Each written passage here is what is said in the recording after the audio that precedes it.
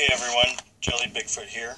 Um, bringing you a review of a Cinch Gaming controller. As you can see, they've got their uh, logo with the sticker on the front of the box. Uh, this is a modded controller company that make Xbox One controllers, Xbox 360 now, recently recently released, but also I believe PS4 not too sure about PS3, but um, back to the Xbox One. I don't have much experience with their other controllers yet, but the Xbox One controller that I purchased is by far the best modded control I've ever had. Um, first off, let me. This is uh, Orange Crush.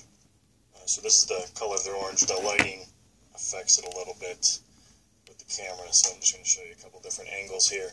But it is a good orange. I really like it. And it also comes with a orange LED. It's not very bright here, but there you go. Uh, looks pretty good. Uh, so, I went with the Orange Crush Orange LED. This actually has an orange. It's orange all the way around. Not sure uh, how many options they offer, but they do come out with new stuff every day. Sorry about that video sway.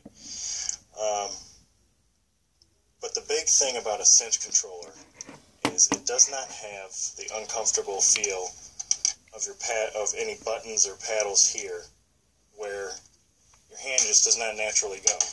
I mean, I, with with the buttons that Cinch has, this is why I wanted to share this with you. I don't even need to move my hands at all. I just squeeze. My fingers are already on it, and actually, they're coming out with a two-button version or a four-button, I should say. And it's it's really great. I mean, this this reduces the stress. I mean, I'm not, I'm not your, I'm not an old guy, but I'm not your average teen, you know, uh, playing video games. So, you know, for, for, for those of you that are looking for comfort, not just performance, um, this is definitely a, a good option.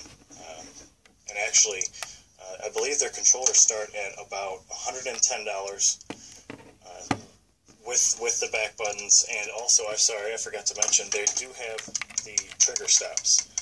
So as you can see here, they have removable trigger stops on both of the triggers, uh, so that helps you to uh, compress much quicker uh, and at a much faster rate. So uh, my uh, my suggestion is to go check it out if you don't believe me. Uh, check out more reviews from other players that are supported by Cinch Gaming. You can just Google Cinch and I'm sure you'll find plenty of videos on YouTube.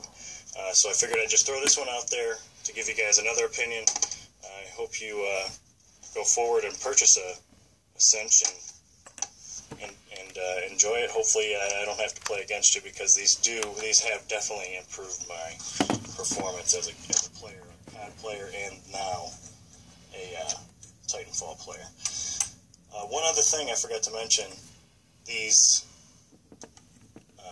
KontrolFreeks work great on the Cinch controllers. It's an extra option that I like to add for the comfort of the thumb.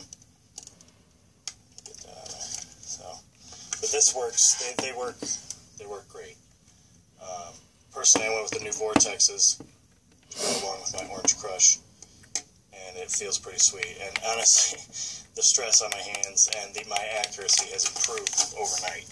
But um, I would definitely recommend getting a Cinch controller. And uh, let me know how you like the video or leave your comments below. Thanks, everyone.